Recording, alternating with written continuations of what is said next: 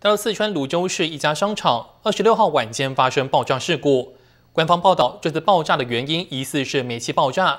由于爆炸威力巨大，商场一二楼部分垮塌，也造成商场外的公交车站垮塌，压毁了多辆计程车，有多人受伤。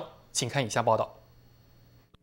据了解，事故发生在四川省泸州市水井沟的摩尔商城内。当时，商城一楼先发生爆炸，商场地下一楼和一二楼起火。而后火势蔓延到附近的总工会大楼，爆炸还造成商场外二百多米长的街道路面一片狼藉，爆炸碎片四处都是，多处房屋商铺受损严重，路上的一些车辆也受到波及。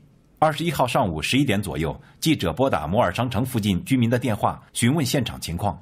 那个燃气爆炸的原因，现在火还没有晚上还有火。据了解，整个泸州市目前全市停止供应煤气。主干道交通管制，公交车停运。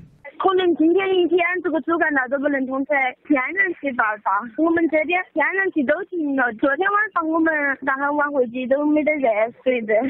据中共官方媒体报道，爆炸造成四人死亡，三十五人受伤。据附近居民反映，爆炸时听到商城内的四楼宾馆房间有人求救，估计宾馆内有十多人被困，是否脱险现在并不清楚。新唐人记者熊斌、李勇采访报道。